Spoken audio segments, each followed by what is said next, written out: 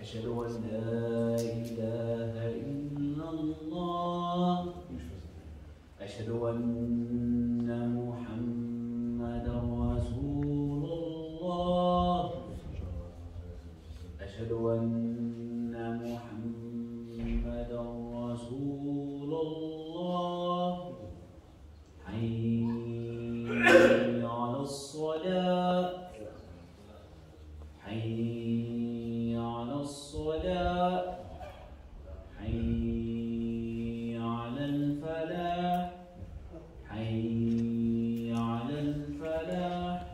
Allah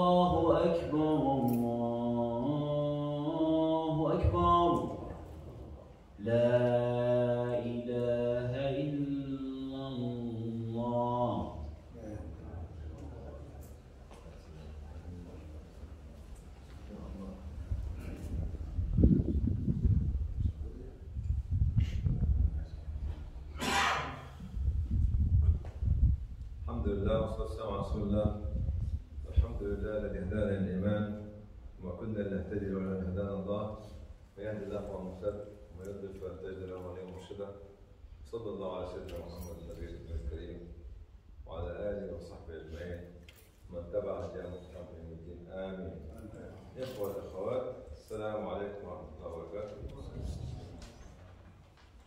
في سورة إبراهيم آية من 24 27 in Surah Ibrahim from 24 Allah give an example ألم ترى كيف ضرب الله مثلا كلمة طيبة كشجرة طيبة أصلها ثابت وفرعها في السماء كل حين بإذن ربها This means الكلمة الطيبة is توحيد. الكلمة الطيبة هي التوحيد. الكلمة الطيبة هي التوحيد التي من أجلها because of it Allah has created the whole life. The whole universe. Because of الله محمد رسول الله. هذه هي الكلمة الطيبة. Nothing else. Nothing else. وكل مخلوقات الله سبحانه وتعالى تسبح بحمده وتؤمن به. And every creation of Allah no matter what making tasbih عبادة believing in the oneness of Allah سبحانه وتعالى. الحيوانات الطيور الجبال الرياح كل شيء. المياه، الأنهار، المحيطات، كل شيء. Everything is making this تسبيح to Allah سبحانه وتعالى. Apart from human being, who are some of them are not موحد. Every creation of Allah, كل مخلوق خلقه الله سبحانه وتعالى يؤمن بوحدانية الله سبحانه وتعالى. ربوبيته وألوهيته. فمن يأتي لنا بإله من الحيوانات ويجعله إله أو إله من البشر ها؟ أو إله من الطير أو إله من الأعضاء التناسلية كما نعرف هؤلاء كفرة والعياذ بالله. Those people who believe in other gods than Allah wa ta'ala, they can make themselves, they are not believers. And to ask them one simple question. ما هو السؤال؟ متى ولد هذا الإله؟ وإن كان كان ولد فهل هو الذي خلق السماوات والأرض أم ولد ووجد السماوات والأرض مخلوقة؟ Ask those people who worship animals and trees and others and tell them what is the date of birth of your God? When he was born, when she was born. And this God, has he been or has she been born before the creation of the universe or not? Now your God is dead. Who's running the universe? Very simple question. Very simple question. أسئلة تافهة وبسيطة تدل على وحدانية الله سبحانه وتعالى. Very simple and stupid question referring to the oneness of the creator of the universe. In this ayah, في هذه الآية كلمة طيبة هي لا اله الا الله محمد رسول الله والشجره الطيبه في ثلاث آه، تفسير لها. اول حاجة النخله The first explanation of the good tree is the نخله the, the, the lead tree what do you? ها؟ اللي هو اسمه palm tree but not the palm from Malaysia النخله dead tree The second تفسير could be a tree in heaven في الجنة. The third تفسير could be you. You are الشجرة الطيبة. Could be the human being himself. The believer, not any human being, is الشجرة الطيبة.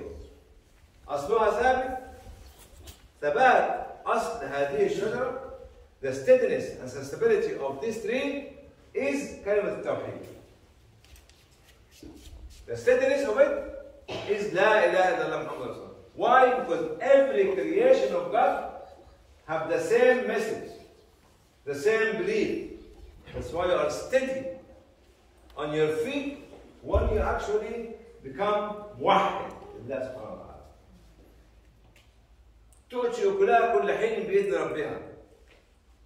The imagination of our ability and the intellectual ability is quite different from what Allah will prepare for all of all of us. كل حين بإذن ربنا. الثبات, the steadiness could be for the roots, deeply rooted.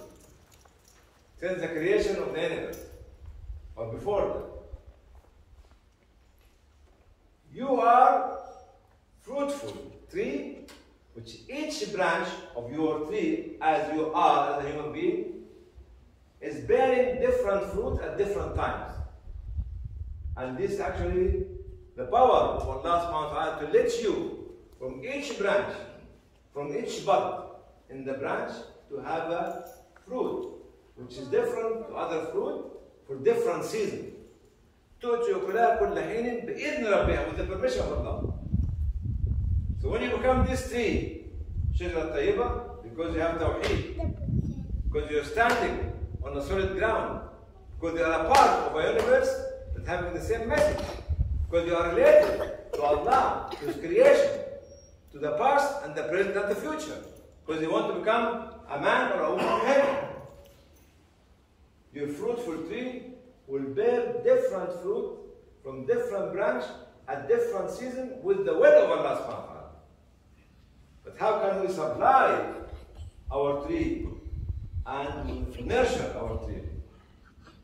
Iman is number one, Quran is number two, Zikr is number three, Salah is number four, Siyam is number five, Hajj is number six, good behavior and manner is number seven, serving and helping people is number eight, and being and caring for everybody and anybody number 9 and keep going on. And this is a supply for the stability of your good tree.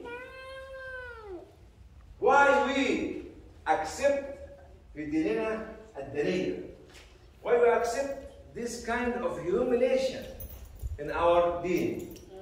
And we become a little bit shy or a little bit withdrawn or a little bit inactive or a little bit passive, or a little bit afraid. And Allah make each one in this room a shajara tayyibah.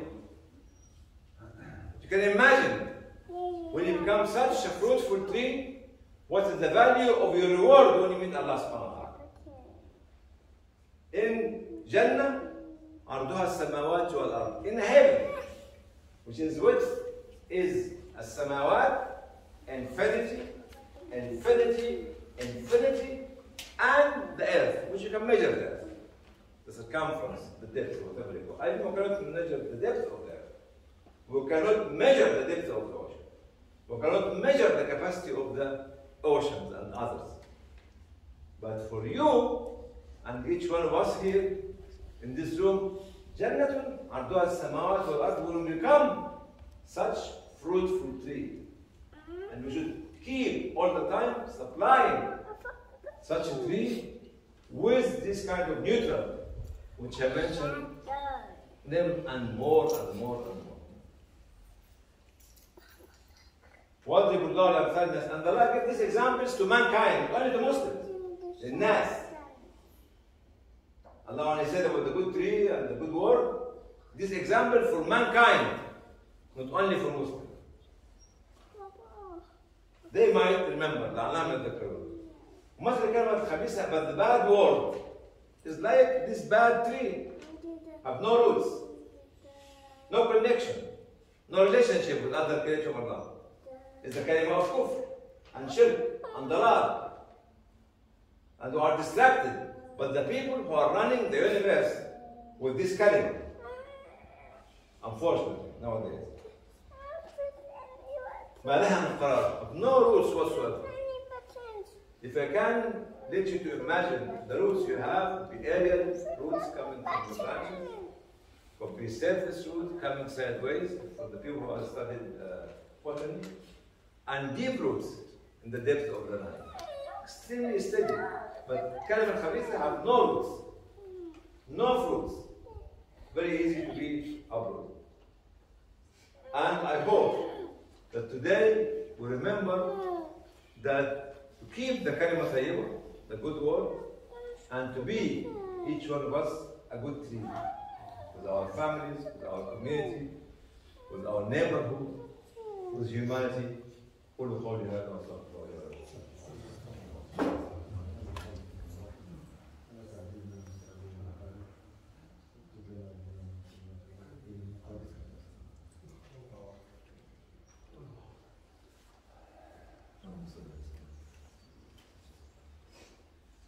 لله والصلاة والسلام على رسول الله.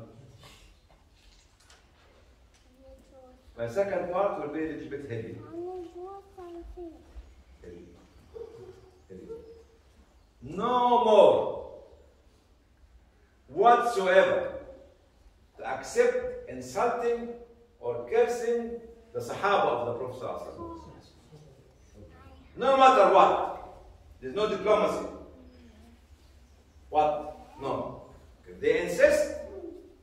They call themselves Muslim, no, they are not Muslims. Ashabi, Ashabi. This putting the doubt in the message of Muhammad from the very beginning. Of his best friends like Abu Bakr, Umar, Uthman, Ali, Fatima, and uh, Aisha, and Hafsa, and others. And ulama said the one who insists to curse the companions of the Prophet are kafir. There's no diplomacy in this.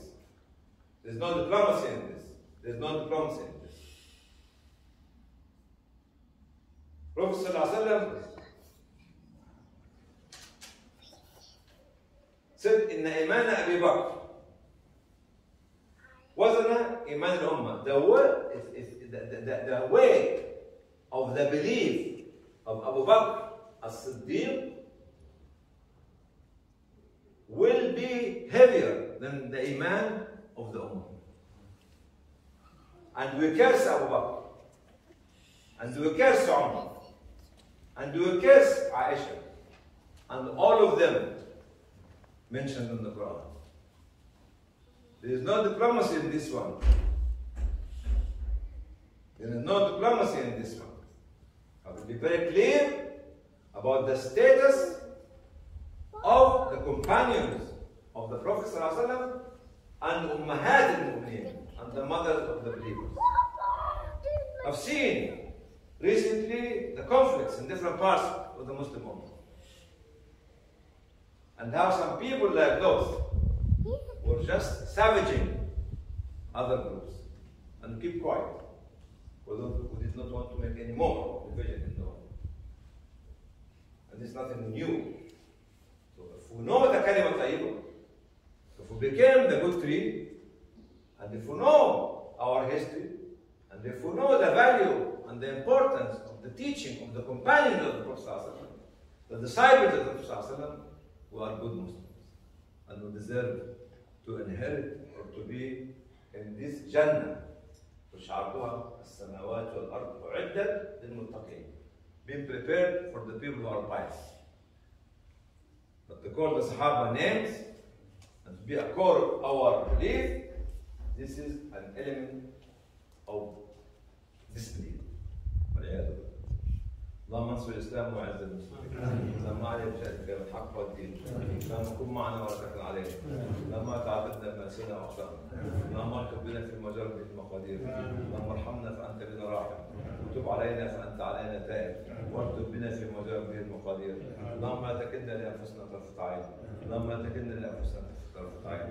واكتب بنا في مجرد المقادير اللهم ارفع البلاء عن محمد صلى الله عليه وسلم. اللهم ارفع البلاء عن محمد صلى الله عليه وسلم. البلاء عن امه محمد صلى في فلسطين ومن اليغور ومن الروهينجا وكشمير وفي الهند وفي كل مكان من المعمورة إن شاء الله. آمين رب العالمين. آمين آمين آمين آمين. وصلى الله على سيدنا محمد النبي الكريم وعلى آله وصحبه أجمعين. ومن تبع هديهم إلى يوم الدين. آمين.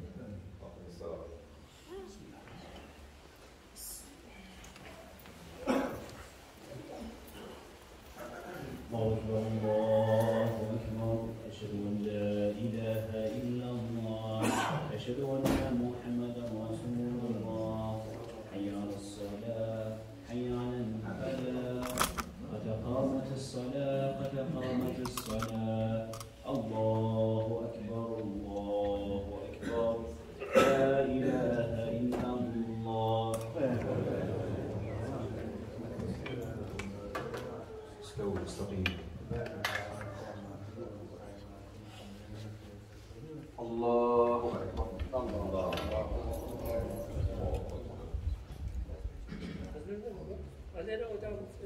الحمد لله رب العالمين. الرحمن الرحيم. مالك يوم الدين. إياك نعبد وإياك نستعين. اهدنا الصراط المستقيم. صراط الذين أنعمت عليهم غير المغضوب عليهم ولا الضالين.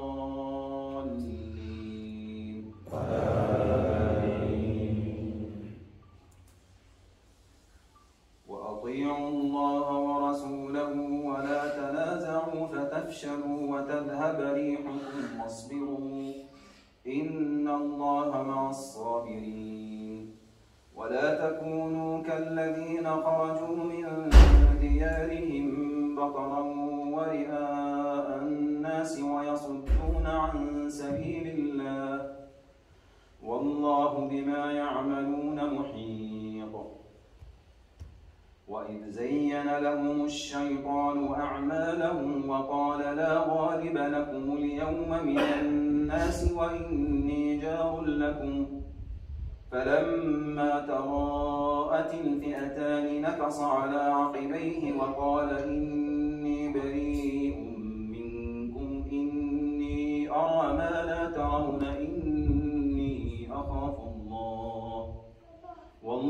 شديد العقاب. الله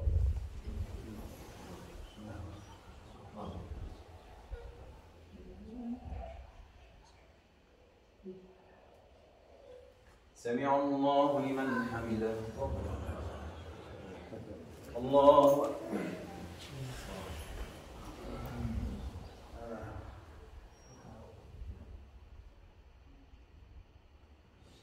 الله أكبر الله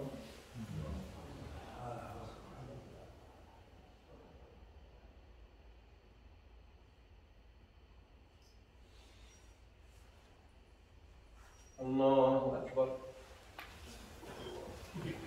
الحمد لله رب العالمين. الرحمن الرحيم.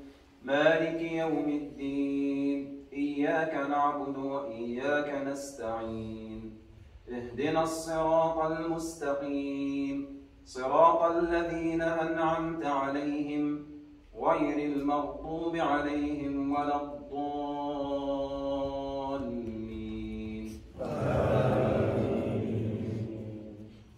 إذ يقول المنافقون والذين في قلوبهم مرض غر هؤلاء ومن يتوكل على الله فإن الله عزيز حكيم. ولو ترى إذ يتوفى الذين كفروا الملائكة يضربون وجوههم وأدبارهم وذوقوا عذاب الحريق. ذلك بما قدمت أيديكم وأن الله ليس بظلام للعبيد. كدأب آل فرعون والذين من قبلهم كفروا بآيات الله فأخذهم الله بذنوبهم. إن الله قوي شديد العقاب. الله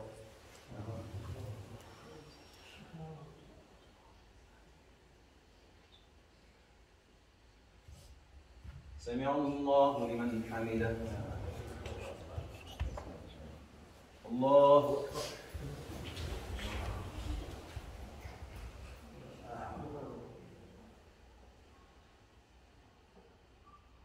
الله أكبر. الله أكبر.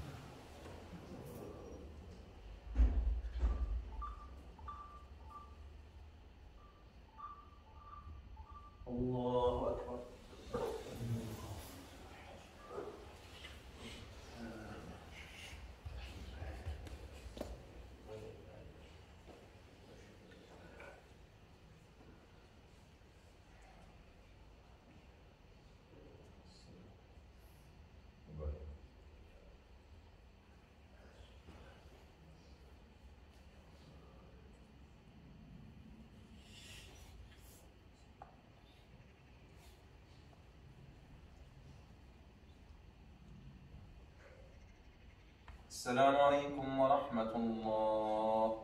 السلام عليكم ورحمة الله.